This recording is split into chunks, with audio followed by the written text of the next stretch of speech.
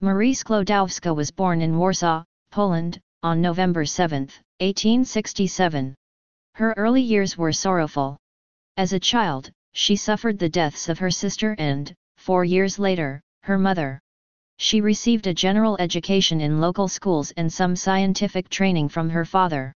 She was notable for her diligent work ethic, neglecting even food and sleep to study. After graduating from high school, she suffered a mental breakdown for a year.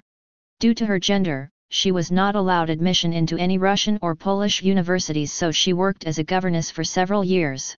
Sklodowska eventually left Warsaw, then in the part of Poland dominated by Russia, for Krakow, which at that time was under Austrian rule. In 1891, with the monetary assistance of her elder sister, she moved to Paris and studied chemistry and physics at the Sorbonne, where she became the first woman to teach, after obtaining her licentiateships in physics and the mathematical sciences.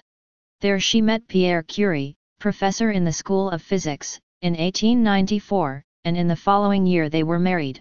Together, the Curies studied radioactive materials, particularly the uranium ore pitchblende, which had the curious property of being more radioactive than the uranium extracted from it.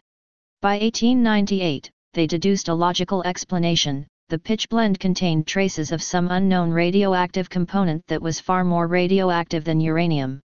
Thus, on December 26 of that year, Marie Curie announced the existence of this new substance. In 1902, the pair isolated the chloride salts and then two new chemical elements, the first they named polonium after Marie's native country, and the second was named radium from its intense radioactivity. Together with her husband and Henri Becquerel, Marie was awarded the Nobel Prize in Physics in 1903.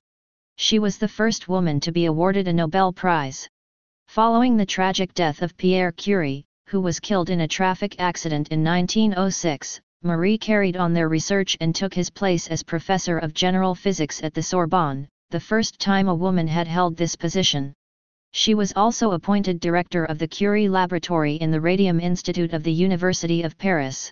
In 1911, Marie won her second Nobel Prize, this time in chemistry, for isolating pure radium. Marie Curie died on July 4, 1934 of leukemia, believed to have been brought on by her extensive exposure to the high levels of radiation involved in her studies. In 1995, her remains were transferred to the French National Mausoleum, she was the first woman accorded that honor on her own merit.